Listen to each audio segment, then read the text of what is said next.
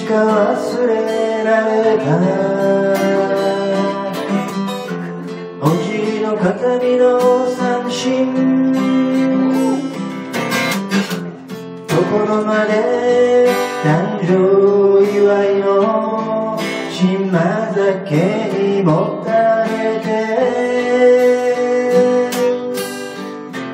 誇りを指で撫でて。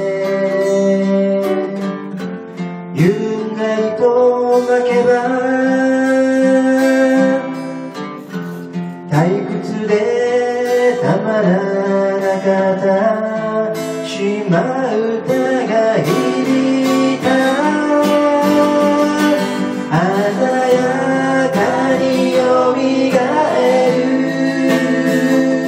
あなたと過ごした日々は柔らか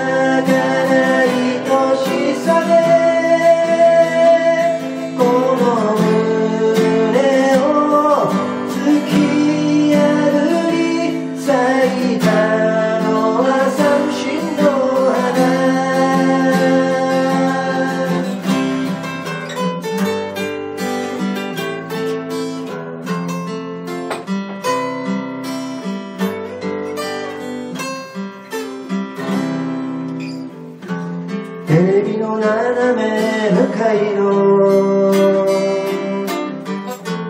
あなたがいた場所に座れば春日の窓から夕月が昇る。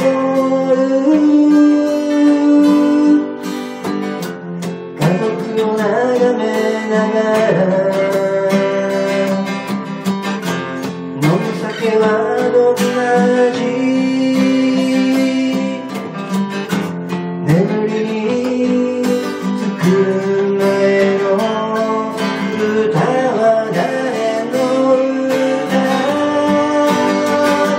여